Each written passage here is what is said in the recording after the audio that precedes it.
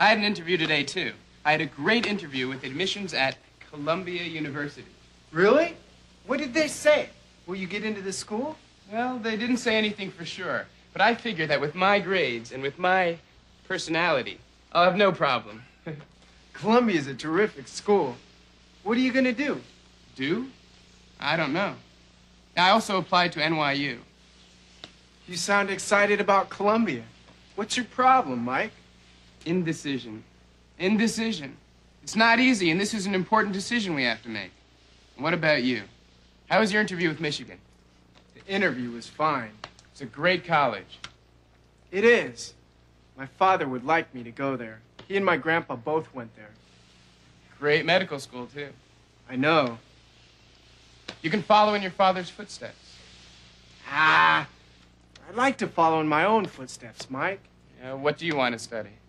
I've been thinking. I think I want to study journalism, to be a reporter, a newspaper man. You do a pretty good job on the Riverdale High School paper. And I've been thinking about it a lot lately. Have you discussed it with your parents? No, but I have to. Okay, let's talk.